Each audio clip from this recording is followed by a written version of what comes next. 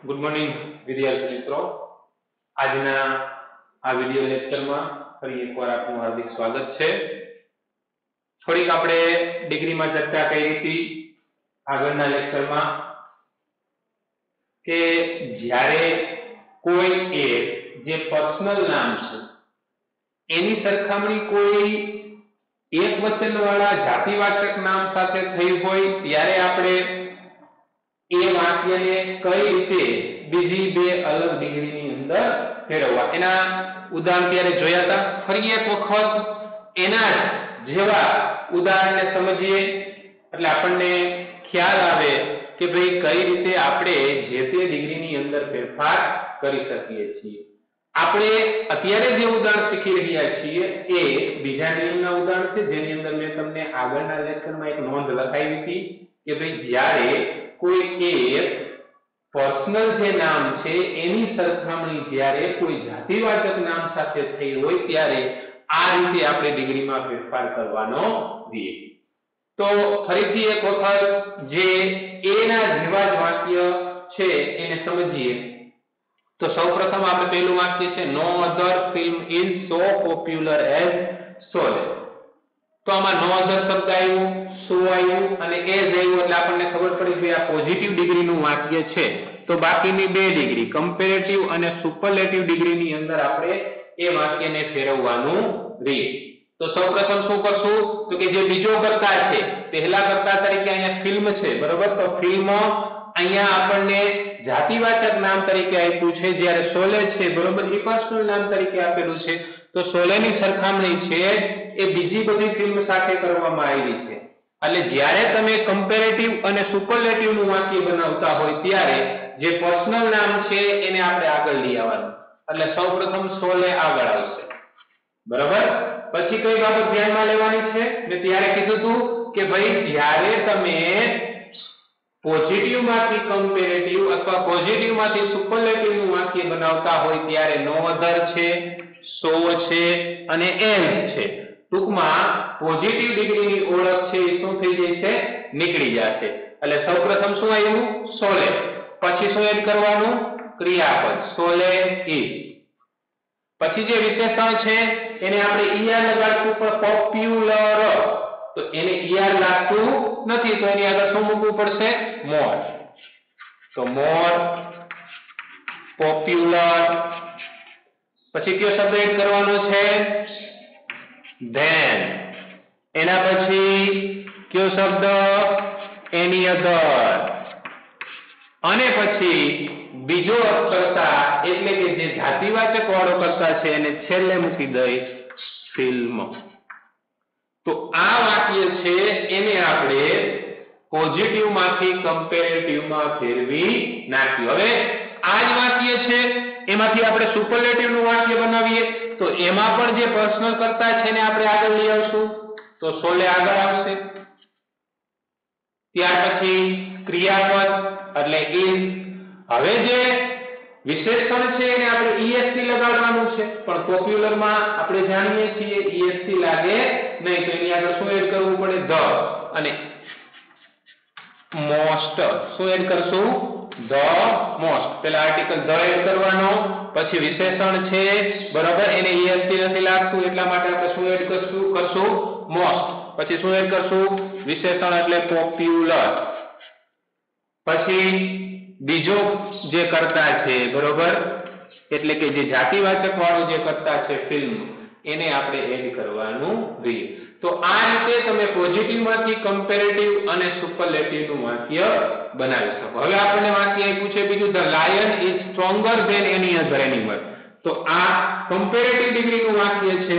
તો એમાંથી આપણે સુપરલેટિવ અને પોઝિટિવ ડિગ્રી નું વાક્ય બનાવી શકીએ. તો સૌપ્રથમ સુપરલેટિવનું વાક્ય બનાવીએ. તો મેં ત્યારે તમારું ધ્યાન દોર્યું. કે જ્યારે તમે કમ્પેરેટિવમાંથી સુપરલેટિવ બનાવતા હોય ત્યારે કર્તાની ફેરબદલી થતી નથી. કર્તાની ફેરબદલી ન થાય, એટલે ધ લાયન છે, તો ધ લાયનનું શું રાખ દેવાનું આગળ? The lion. પછી ક્રિયાપદ તરીકે ઇઝ હવે જે વિશેષણને ઈઆર લાગેલું છે, ધેન લાગેલું છે, એની અંદર લાગેલું છે, ટૂંકમાં કમ્પેરેટિવની ઓળખ શું થઈ જાય છે? નીકળી જાય છે. હવે સૌપ્રથમ વિશેષણની આગળ આર્ટિકલ ધ પછી સ્ટ્રોંગનું શું થઈ જાય? સ્ટ્રોંગેસ્ટ એને ઈએસટી લાગી છે. ધ્યાન નીકળી ગયું, એની અધર નીકળી ગયું, પાછળ વૈધું માત્ર ને માત્ર બીજો જાતિવાચક કરતા એટલે કે એની મત. તો આ રીતે તમે જ્યારે સુપરલેટિવમાંથી કમ્પેરેટિવ બનાવતા હોય, ત્યારે કર્તાની ફેરબદલી થતી નથી. આ બાબતને ખાસ ધ્યાનમાં લેવાની છે. હવે આપણે બનાવીએ કમ્પેરેટિવનું વાક્ય આપેલું છે, એમાંથી આપણે પોઝિટિવ ડિગ્રી નું વાક્ય બનાવીએ. તો સૌપ્રથમ શું કરવાનું છે? એડ આપણે શીખી ગયા, સૌપ્રથમ આવશે નો અધર શું એડ કરશું? નો અધર પછી શું કરવાની? કરતાની ફેરબદલી. લાયન છે, છેલ્લે વહી જાય. એનિમલ એટલે કે જાતિવાચક જે કરતા છે ત્યાં આવી જશે? આગળ આવી જાય. એટલે અહીં આગળ શું આવશે? નો અધર એનિમલ પછી ક્રિયાપદ તરીકે એ. પછી પોઝિટિવ ડિગ્રીમાં શું એડ કરવાનું? તો કે સો. પછી વિશેષણ આપણને આપેલું છે શું? તો કે સ્ટ્રોંગ પછી શું એડ કરવાનું? તો કે એ ધ અને પછી ધ લાઈન આ વાક્ય આપણે કમ્પેરેટિવમાંથી બરાબર? સુપરલેટિવ બનાવ્યું અને પોઝિટિવ બનાવ્યું. છેલ્લું સેન્ટેન્સ શીખી લઈએ એટલે બરાબર આપણને મગજમાં બેસી જાય. તો કે કયા ડિગ્રીનું સેન્ટેન્સ આપણને આપેલું છે? સુપરલેટિવ શેનું આપેલું છે? સુપરલેટિવનું તો એમાંથી આપણે બે ડિગ્રીના વાક્ય બનાવી શકીએ. એક કમ્પેરેટિવ બનાવી હતી અને એક પોઝિટિવ ડિગ્રી બનાવી હતી. તો સૌપ્રથમ આપણે કમ્પેરેટિવ બનાવીએ. તો અહીંયા મેં જે નિયમ જોયો હતો અને મેં જે અહીંયા તમને જે નિયમ કહ્યો હતો કે કમ્પેરેટિવમાંથી સુપરલેટિવ બનાવો તો કર્તાની ફેરબદલી થાય નહીં. એઝ ઇટ ઇઝ સુપરલેટિવમાંથી તમે કમ્પેરેટિવ બનાવતા હોય ત્યારે પણ કર્તાની ફેરબદલી થતી નથી. એમાં ફેરબદલી કરવાની થતી નથી. તો સૌપ્રથમ અહીંયા ધ ટી આપેલું છે તો ધ ટી એમનું છે પછી ક્રિયાપદ તરીકે is એમનેમ રહેશે. આર્ટિકલ ધ શું થઈ જાય, નીકળી જાય બેસ્ટ આપ્યું છે તો શું થઈ જાય છે બેટર થઈ જાય છે આપણે શીખી ગયા. બરાબર? અનિયમિત અથવા અનિશ્ચિત વિશેષણ તરીકે આપણે ઓળખીએ છીએ. બરાબર? તો the tea is better. પછી કયો શબ્દ કમ્પેરેટિવમાં એડ થાય? Then. પછી શું એડ કરવાનું? Any other. અને પછી છેલ્લે વૈધું બરોબર? જાતિવાચક કરતા એટલે કે ડ્રિંક તો આ સુપરલેટિવમાંથી આપણું કમ્પેરેટિવનું વાક્ય શું થઈ ગયું? બની ગયું. હવે સુપરલેટિવમાંથી આપણે પોઝિટિવનું વાક્ય બનાવીએ તો વાક્ય રચના તો સેમ છે.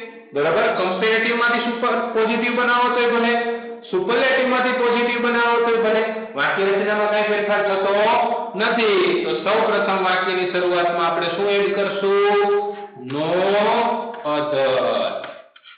પછી જે પાછળનો કરતા એટલે કે બરોબર જાતિવાચક કરતા છે ને આગળ આપણે લઈ આવશું. નો અધર ડ્રિંક પછી શું એડ કરશું? એ પછી શું એડ કરવાનું? સો પછી જે બેસ્ટ છે એનું શું થઈ જાય? પોઝિટિવમાં ગુડ અને પછી એસ અને પછી પહેલો કરતા એટલે કે ધ tea તો આ રીતે તમને જ્યારે કોઈ એક જે પર્સનલ નામ છે, એની સરખામણી જ્યારે કોઈ એક જાતિવાચક નામ સાથે થઈ હોય, તો તમે બાકીની બે ડિગ્રીની અંદર આ રીતના સેન્ટેન્સને ફેરવી શકો છો. તો આપણે અત્યાર સુધીમાં બે પ્રકારના નિયમો છે જોયા, બરાબર? એક જે પહેલો નિયમ જોયો હતો, એમાંથી માત્ર પોઝિટિવમાંથી કમ્પેરેટિવ બનાવતા હતા. એમાં એક કરતાની અથવા તો એક વસ્તુની સરખામણી એક જ સાથે થતી હતી. જ્યારે બીજો આપણે આ નિયમ જોયો, એમાં એક પર્સનલ નામની સરખામણી કોઈ એક વર્ષ કોઈ અથવા કોઈ જાતિના, બરોબર, નામ સાથે થાય છે. ત્યારે આપેલ સિવાય, બરોબર, બીજી બે ડિગ્રીમાં આપણે એ વાક્યને શું કરી શકીએ છીએ? ફેરવી શકીએ છીએ. જઈ ચાલો લખીએ